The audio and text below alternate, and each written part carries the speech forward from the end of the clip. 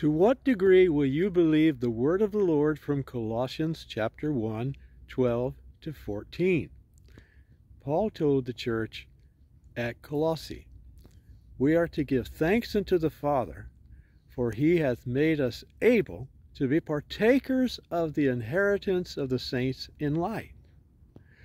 Father has delivered us from the power of darkness, and he has translated us into the kingdom of his dear Son.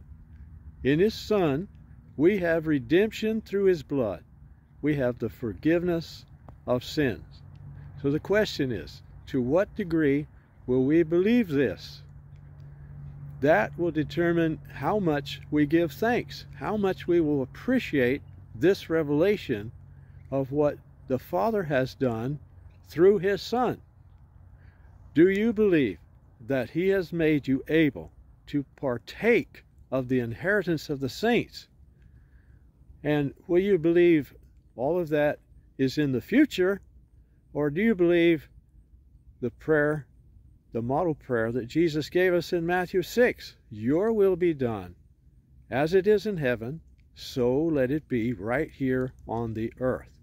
You and I are to give thanks like he told the church at Colossae.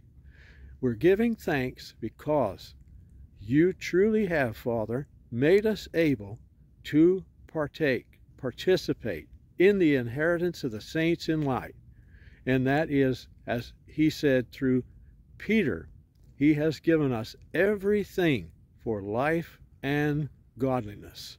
This is our inheritance, to be able to operate with all the wisdom that we need, all the resources that are required for us to accomplish His will for us before He comes to take us home.